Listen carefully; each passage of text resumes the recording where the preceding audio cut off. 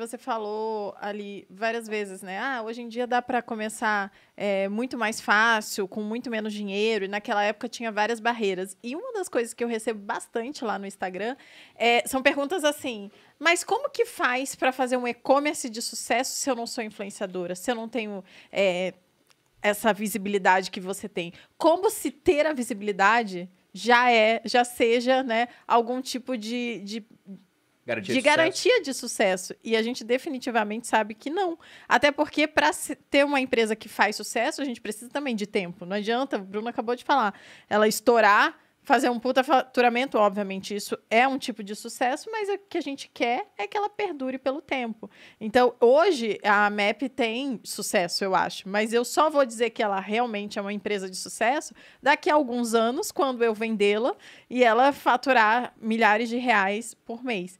E eu Milhares queria... não, milhões. Milhões. É, milhões. eu não vou olhar para Sabrina nesse momento, porque não existe nenhum problema em pensar grande e não conseguir. O problema é pensar pequeno e ficar feliz Exato. com essa bosta. Milhares Ela... de reais. Ah, é, mas milhões. eu falei errado. Eu falei errado. Sim, milhões sim. de reais. Dá para cortar e voltar? Estamos ao vivo, mas de todo jeito na edição vai estar tá cortado aqui. É, e aí eu queria que você falasse um pouquinho sobre essa questão do e-commerce, como que é mais do que isso, né? Você não precisa ter visibilidade. Você mesmo, até hoje, você não é a cara da Francisca. Não sou. Eu não apareço na Francisca. Na verdade, eu acredito que é, quando você vai criar um negócio, principalmente o e-commerce, é pautado em três pilares: método, ferramenta e mentalidade. Método, as estratégias que você vai utilizar para vender. Ferramentas, um e-commerce, um site, né, uma plataforma, ou Instagram, uhum. ou WhatsApp, um canal de venda. E mentalidade, porque se você não trabalha a mentalidade empreendedora, acontece isso, de achar coisas. Eu falo que tem uma cobrinha no ouvido das pessoas. Tá? No ouvido de todo mundo tem uma cobra.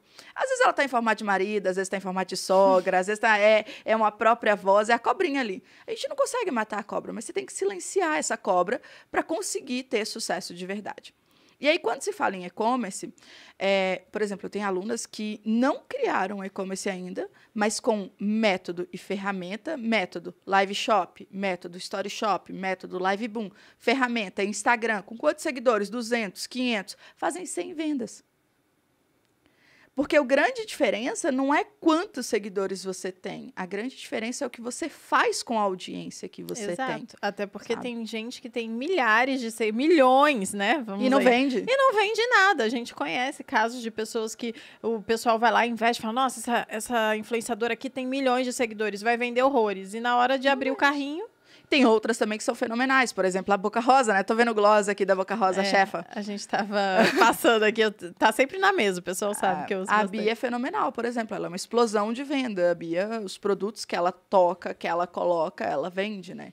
Então tem, tem esses dois pontos. E aí, por você ver pessoas com grande audiência vendendo, automaticamente a cobrinha vem e fala: ah, só vende quem tem audiência. Ah, só vende quem tem isso, quem tem aquilo outro. Hoje em dia é muito fácil criar um e-commerce. Tem ferramentas como Nuvem Shop, Loja Integrada, Trail, Shopify, que você consegue é, começar uma loja online com 50 reais. Entende? Então, assim, não é mais como era antes. É, e essas plataformas, elas são como Instagram. Então, uhum. Então, você faz, você arrasta para cá, arrasta para lá, sobe a foto, edita, digita. e qualquer pessoa pode começar o negócio. Tá certo que ao longo do tempo, você vai se profissionalizar, você vai buscar ferramentas mais robustas para ganhar escala. Mas a melhor maneira de você testar, entender e fazer funcionar é assim.